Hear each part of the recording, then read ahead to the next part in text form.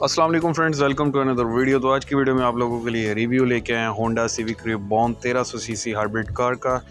इसकी कंडीशन आप देख सकते हैं, बिल्कुल मिंट कंडीशन में है ग्रे कलर में ये कार अवेलेबल है। लोकेशन की बात की जाए तो दुबई में इस टाइम अवेलेबल है car option market Ras al Khor में। जिस तरह के नाम से ही ज़ाहिर है हाइब्रिड कार है तो इसका मतलब इसमें आपको फ्यूल एवरेज काफ़ी अच्छी मिलने वाली है। हाइब्रिड का मतलब ये है कि 60 किलोमीटर की स्पीड तक ये कार बैटरी पे चलेगी दैन 60 से अबव ये पेट्रोल कंज्यूम करेगी। चले इंटीरियर व्यू आपको चेक करवाते हैं। जैसे ही एंटर होते हैं, आपको मिलता है जी फुली ऑटोमेटिक कंट्रोल चारों मिरर्स का। उसके बाद पावर स्टेयरिंग इसमें मिलने वाला है एलसीडी के ऑप्शन है क्रूज़ कंट्रोल के ऑप्शन भी मिलने वाली है। तो फ्रेंड्स ये कार आती है फुली ऑटोमेटिक ट्रांसमिशन में। तो साथ ही साथ फ्रंट पे आपको मिलता है ग्लास होल्डर तो एट अ टाइम इसमें दो ग्लास आप इजीली रख सकते हैं। इनफ स्पेस अवेलेबल है फ्रंट पे और एयर बैग्स भी आपको मिलने वाले हैं। एक इसके स्टेयरिंग के अंदर होगा और लेफ़्ट साइड वाला इसके डैशबोर्ड पे होगा।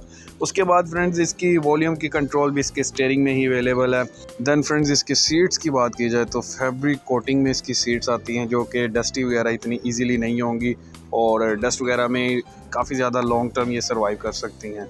पीछे की बात की जाए तो तीन बंदे पीछे और दो बंदे फ्रंट पे इजीली बैठ सकते हैं, लेकिन लॉन्ग रूट के लिए चार बंदे ही प्रेफर करेंगे इस कार में बैठने के लिए।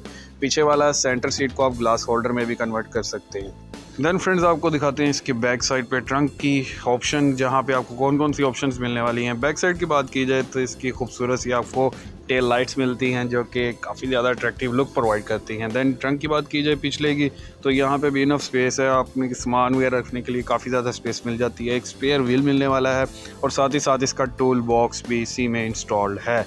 उसके बाद इसकी सीट आगे फोल्ड भी हो सकती हैं तो देन आप इसकी स्पेस एक्सेसिव अगर ज़्यादा बनाना चाहते हैं तो सीट आप इसकी फोल्ड करके ज़्यादा स्पेस भी क्रिएट कर सकते हैं। व्हील्स की बात की जाए तो यहाँ पर आपको फिफ्टीन इंचज़ के अलाई रिम्स मिलने वाले हैं। जो कि काफ़ी स्मूथ राइड आपको प्रोवाइड करेंगे। उसके बाद फ्रेंड्स इसके बैक साइड वाले भी सीट्स आपको व्यू करवा देते हैं।